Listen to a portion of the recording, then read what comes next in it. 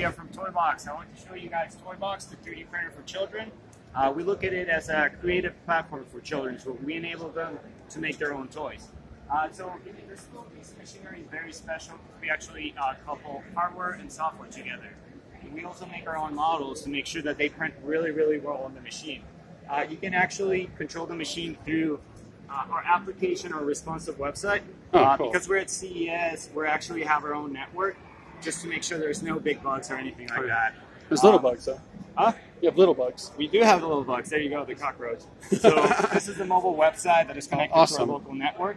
Um, so we're going to print one toy. So why don't we print the toy box keychain right here? We're going to hit print me, and you'll see that instantly. We'll go over here. Oh, nice. You'll see it moving.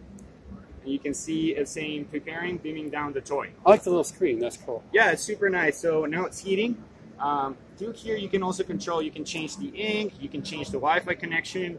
You can add different accounts, and you can control it all remotely from the application or the website. Nice, nice. Um, what you saw right now, this is the actually the catalog modality. We have three different types of modalities. Uh, the catalog modality. The other one is uh, you can actually use some of our toy apps to create something like this. Uh, this is our block body. You can actually create it with our avatar generator. Oh, so you can think of it as like a Bitmoji or uh, something where you actually make your own action figure and then you can print it.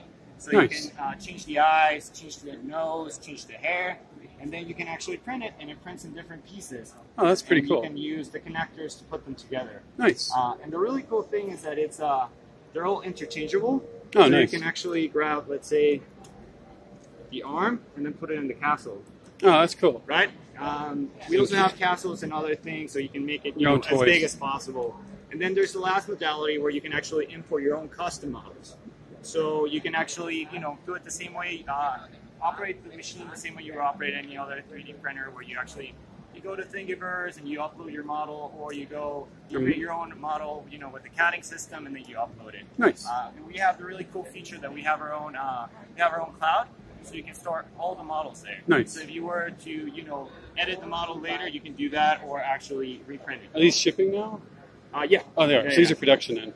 Uh, so this one is uh, one of our previous models, but it's very close. Um, this one is the one that is the, that we're selling. Oh, it looks about the same. Is this one bigger?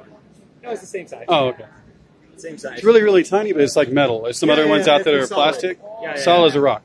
and uh, Solid as a toy box. Yeah, we're currently selling it on uh, Indiegogo. in Nice. How much? Uh, Two ninety nine. No, no. And then we're also selling them on our website, make.toys. Nice. www.make.toys. Awesome. Thank you. Nice to meet you, Andy. Hey, nice to meet you. Let me uh, go out of this.